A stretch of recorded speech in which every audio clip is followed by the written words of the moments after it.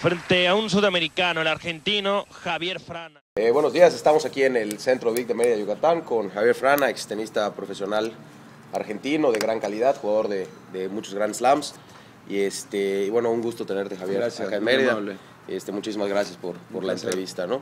Eh, pues nada más unas, robarte unas preguntitas. Sí. Este, digo, tener una personalidad como tú, pues es, es de aprovechar la oportunidad, ¿no? Para, para preguntarle algo.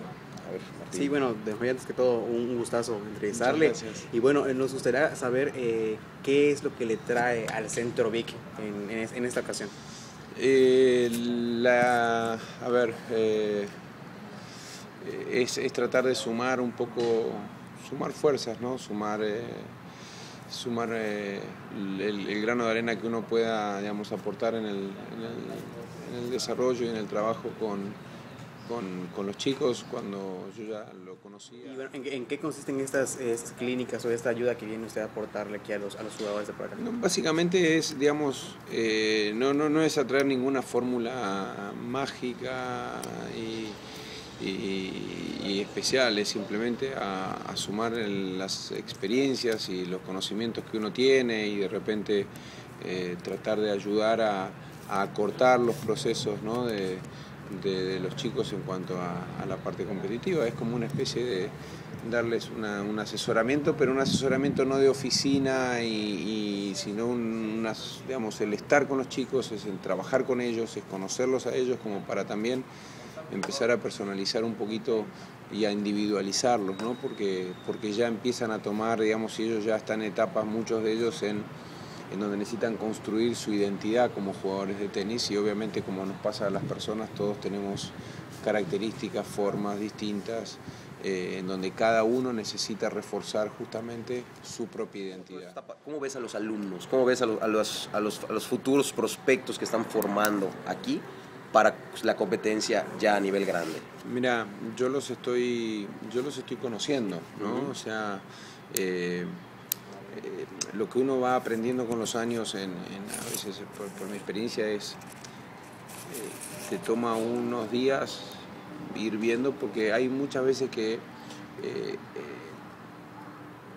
hay que escarbar un poquito porque a veces por lo que uno ve estéticamente, cuestiones técnicas, puedes que vean cosas muy buenas y hay veces que puedes ir a un lugar y de repente no hay algunos que no, no te dicen demasiado técnicamente, pero Pero a la hora de jugar- competitivo y tienen un ranking y la verdad que de repente el tenis en eso eh, es hasta engañoso porque, porque acá hay chicos que uno los ve pelotear y si no sabes si te dicen que es 600, 700, 800 en el ranking ATP o te dicen que es 50, 40, no le notas la diferencia. El tema es cuando empieza la competición. Y precisamente por el, por, bueno, hoy por hoy pues ya te dedicas a, a la parte de, de la televisión y este, y pues sigues metido en el, en el- Sí. el ambiente del tenis. Yo me imaginaba que profesional, pero veo que también, que también el amateur. ¿Ubicas a Marcela Zacarías? ¿La conoces? Sí, claro. ¿Cómo la Sí, ves? Sí, ya la conocía. La había visto en Roland Garros un par de años, la vi en Acapulco. Eh, tiene, tiene un muy buen. eh, es muy buena. O sea, tiene muy buena. eh, tiene muy buena mano, tiene, es muy aguerrida, es luchadora, es una chica que, que, que si, si ella sigue con, con decisión y con enfoque, todavía, todavía hasta tiene para físicamente Crecerle ponerse un poquito. poquito más y ponerse más firme, más fuerte. Eh, a mí personalmente me gusta mucho cómo juega.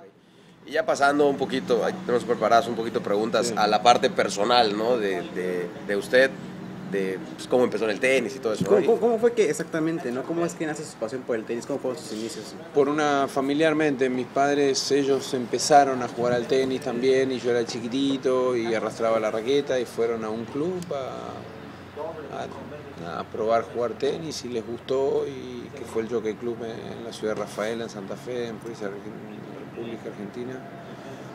Y ahí fue, o sea, como que fui, fui como muchas veces pasa, ¿no? Los hijos seguimos a los papás cuando toman alguna decisión y ellos se hicieron socios de un club y, y ahí empecé y bueno, salió un- como un juego, obviamente, nunca tuve hasta los 17 años pasados no tuve, no, no, tenía en mi cabeza la intención de, no, ni sabía lo que era ser profesional. ¿Y entonces por qué toma usted esa decisión de dedicarse profesionalmente al tenis y no a elegir una carrera o una carrera?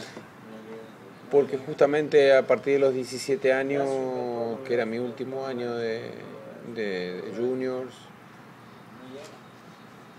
vaya a saber uno por qué, digamos, en ese momento fue una sorpresa, me empezó a ir bien a, nivel nacional y terminé eh, a mitad de año, gané un sudamericano en, en, Carrasco, en Uruguay, lo cual para mí fue toda una sorpresa, o sea, fue absolutamente una sorpresa porque fui pensando en que, bueno, que no quería ser el peor de todos, o sea, por lo menos que haya uno peor que yo y terminé ganando el singles, el dobles y ganamos por equipos. Entonces eso para mí fue como una un, llamado a decir, bueno, ¿y ahora qué hago? No? Eh, después volví, gané un par de torneos nacionales que había, terminé como número uno y, y es como que de julio a diciembre dije, bueno, ¿y ahora? ¿Y cómo se dio en usted este proceso de moderación tanto física como psicológica, ¿no? para poder, del paso de junior a ser profesional? Era un tenis tal vez todavía menos, menos competitivo, menos exigente. Te daba margen para... Hoy, hoy los chicos ya es como que tienen menos margen, ¿no? Es como que todos los parámetros físicos, psicológicos, todo, todo tiene que estar como más, más arriba porque cada vez se, se van, todos se van perfeccionando más mío, digamos que bastante fue bastante natural. Para mí todo fue muy rápido porque yo desde que termino ese año, a los dos años estaba jugando Copa Davis, lo cual también era, era como vivir un sueño de esas pesadillas, digamos, no una pesadilla, sino un sueño de decir esto es mentira, o sea, todo lo que me está pasando. Eh, entonces como que lo viví, digamos, como muy natural y como, como algo que, bueno, que viene y hay que afrontar y, con muchas limitaciones, con muchas, digamos, con muchas inseguridades, pero tal vez, bueno, tenía una cuestión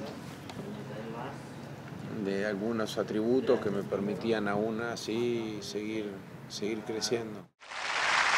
Y vaya que se iniciaba bien el argentino cruzando al australiano.